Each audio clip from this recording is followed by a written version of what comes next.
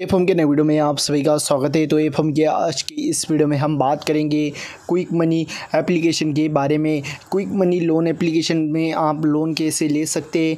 Application की सारी जानकारी एक ही वीडियो में मैं आपको बताने वाला हूँ। और दोस्तों, यहाँ पर आपको इंस्टेंटली लोन कैसे मिलेगा और मैक्सिमम यहाँ पर लोन लिमिट क्या है? और यहाँ पर आप इंस्टेंटली ट्रांसफ़र कर सकते हैं जो भी आपको लोन मिलता है।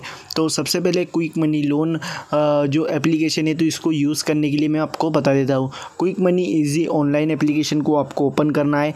ओपन करेंगे तो आपके सामने यहाँ पर प्राइवेसी पॉलिसी दिखाई देती है। तो इस प्राइवेसी पॉलिसी को आपको रीड कर लेना बहुत ही ज़रूरी है, क्योंकि ये आपके पर्सनल जो आपकी पर्सनल इंफॉर्मेशन है, उसके रिगार्डिंग रहती है। तो आपको इसको पढ़ के अच्छी तरह से रीड करके एग्री पर क्लिक कर लेना है।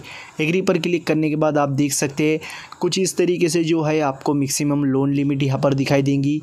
आप यहाँ पर अप्लाई कर सकते हैं। अप्लाई नाउ पर आपको क्विकली क्लिक करना है। क्लिक करने के बाद यहाँ पर आपको आपका मोबाइल नंबर डाल देना है और कंटिन्यू करना है। कंटिन्यू करने के बाद मोबाइल नंबर पर एक ओटीपी आ जाएँगी।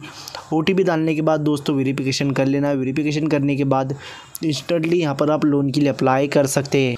यहाँ पर आप देख सकते हैं जो है मेरा, यहाँ पर मैंने अकाउंट क्रिएट कर लिया। अकाउंट क्रिएट होने के बाद आपको बोर नाव पर क्लिक का ऑप्शन यहाँ पर दिखाई देगा। तो दोस्तों, आपको कुछ नहीं करना है। यहाँ पर मैं आपको और भी आपको बता देता हूँ रीफाइनेंस ब्रोइंग हिस्ट्री यहाँ पर आप ब्रोइंग हिस्ट्री भी देख सकते हैं, जो हिस्ट्री है आपको दिखाई देंगी। कि आपने लोन की जो हिस्ट्री है, वो आप यहाँ पर देख सकते हैं। तो दोस्तों, सबसे पहले तो यहाँ पर आपको देखो, यहाँ पर आप आएँगे तो आपको जो लोन लिमिट है, वो यहाँ पर जो आपको आउटस्टैंडिंग है इंफॉर्मेशन है अप्लाई की, वो दिखाई देंगी। अकाउंट दिखाई देगा अकाउंट में आप एडिट इंफॉर्मेशन कॉन्टेक्स कॉन्टेक्स में आपको एक ईमेल आईडी मिलती है, जिससे आप इनको कॉन्टेक्ट कर सकते हैं। माई डाउनलोड प्राइवेसी पॉलिसी आपको रीड कर लेना ज़रूरी है और कुछ सेटिंग्स मिल जाती है। सेटिंग में एप्लीकेशन का क्या यहाँ पर आप देख सकते हैं। यहाँ पर लोन के लिए अप्लाई करने के लिए बोरनाओ पर क्लिक करना है। जैसी बोरनाओ पर क्लिक करेंगे, दोस्तों, आपका एक फेस डिटेक्टिव फ़ोटो आपको यहाँ पर अप्लाई करना है। जैसे आप वो कर देते हैं करने के बाद। दोस्तों, आपको कुछ यहाँ पर पर्सनल इंफॉर्मेशन देनी है।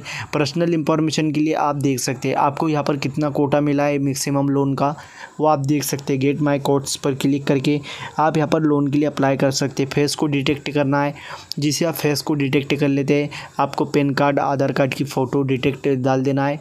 यहाँ पर कुछ पर्सनल इंफॉर्मेशन दे देनी है, जैसे आप ये पर्सनल इंफॉर्मेशन पूरी तरह से दे देते देने के बाद दोस्तों इंस्टेंटली लोन अप्रूवल के लिए चला जाएगा। अप्रूवल होने के बाद इंस्टेंटली आपको यहाँ पर ट्रांसफ़र कर दिया जाएगा आपके बैंक अकाउंट में।